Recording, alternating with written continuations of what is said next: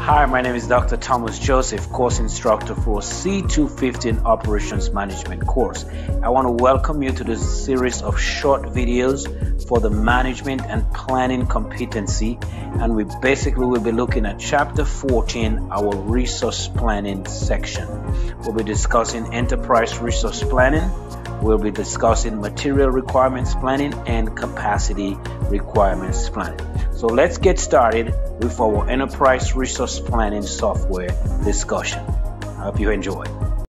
So let's talk about a section of our management and planning competency, uh, ERP systems or enterprise resource planning.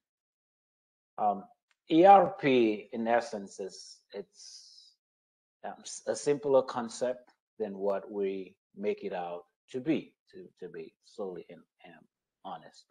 Um, so we can break down, I think the first thing to do is to break down the, the term word by word. And as I have often mentioned, is the definitions of a term or the understanding of some of the concepts, they're generally in their terms themselves. So if we break it down, it's simple for us to understand it. So enterprise resource planning. Let's break this down word by word. Enterprise can be substituted for the word company or organization or firm or business, right? So somebody can say uh, something like, I built this enterprise. So now we are a multi-billion dollar enterprise. I built this company. I built this business. I built this organization, right? It's the same term. So it's enterprise represents the business, the firm, the company, uh, the organization. Resource has to do with what the company has. The company has two resources. One, um, its materials uh, or supplies, and then two, it has its workers or capacity. So that's where we we will talk about this in, in two other sessions. We'll talk about material requirements planning and capacity requirements planning. That's what the resources of the enterprise are. They are the company's materials and the company's capacity. We'll talk more about that. And then the word planning, we understand, is a word that goes with the idea of management.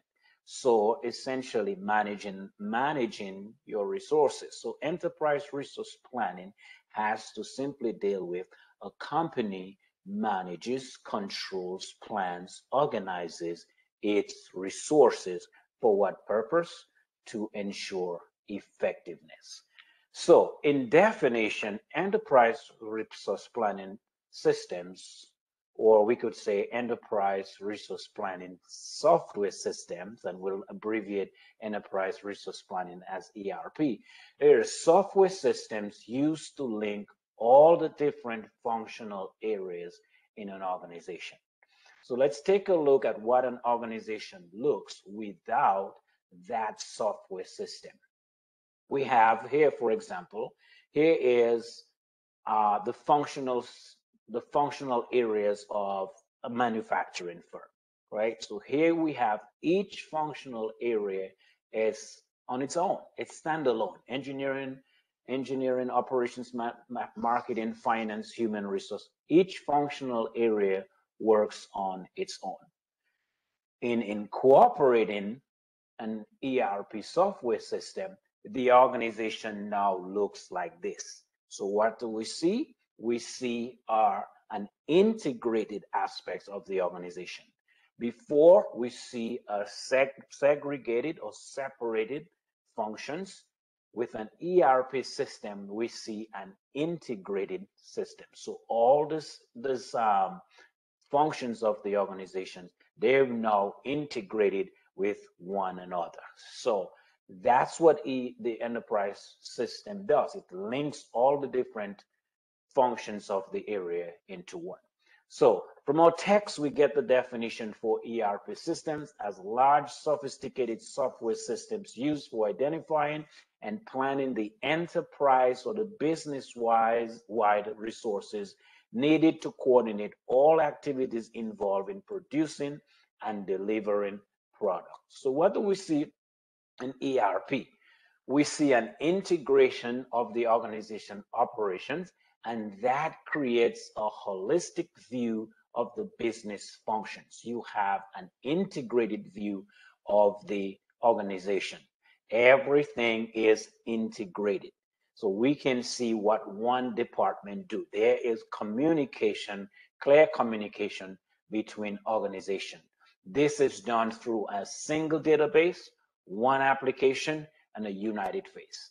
I want you guys to think of one thing. When you think of ERP software systems, think of yourself at work and you say, oh, my system is down, right? Think of the system that you are inputting information in every day. For example, if you are a nurse at a hospital, every activity that you perform with a patient, you have to record or document that, right? Salesforce, for example, Epic, Dentrix, um, SAP, Oracle, these are all enterprise resource planning software that organizations use to manage. So it's one single database, one application, and a unified interface. What is the result of that? There is an improvement in the flow of information within the company. What I want you guys to see from an ERP software system study is the idea of the company coming together as one. We are one big organization functioning under the same thing. Then, if the companies improve, um, improved flow of information, or there is an improved in the flow of information within the firm, that will increase the ability to incorporate best practices, right? Remember when we look at how those, the functions were divided or, or just stand alone, right? With the integration, we can now see human resource can see how finances do in business and they can incorporate those best practices within departments. And so we have a, there is a structured a more structured organization. Yes it brings better management managerial control. It also brings faster decision making and lastly there is a reduction in cost so when the organization spends to enhance its operation, then it's spending for the whole organization rather than for a single department. So what we want you to learn is for, for the purpose of our assessment for a C215 uh, course, the benefits, some of the benefits of, of, of um, ERP system. Our textbook outlines tangible benefits, and I'm just going to read a couple of those from this list.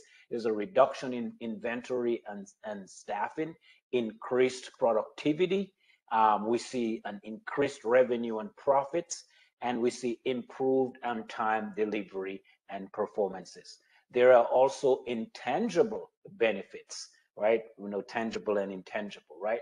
Um, so some of those are improved visibility of corporate data, right? We can see, right? Um, I I work on on on a client's or a patient's information. I input that information into the system. Then somebody else who works after me can see that information. There is better integration between systems and better visibility even into the supply chain process if we are referring to um, business uh, manufacturing business as well. There is improved flexibility uh, along with that. Now, this you can tell to integrate the organization that way, this comes with a cost, right? So there are costs relative to um, an ERP system. Number one, there is software cost. That software, the cost of for the software can range from thousands of dollars, hundreds of thousands of dollars to several million dollars. That's going to depend on the size of the organization. So imagine for a moment companies like Walmart and Amazon and the larger corporate corporations that exist today. These companies have to utilize a large ERP software system to bring the entire operation under one umbrella, operating domestically, nationally, and globally. So, source cost of software. Secondly, there is service cost normally companies to, impl to implement uh, an, uh, an ERP system, they will have to hire um, outside consultants, right? Outside consultant, consultants, as well as professional services that can help with the selection of the software.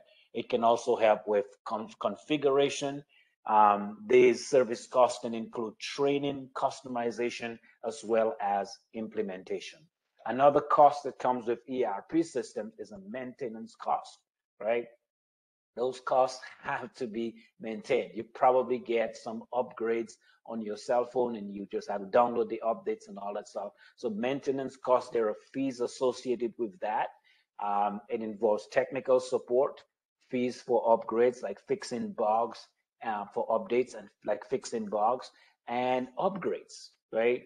Um, as we all know, most of these systems year after year they go through different upgrades and updates and it has to be done. And last but not least all the cost um, for erp system which requires human resources right? There have to be human resource or people trained to use those.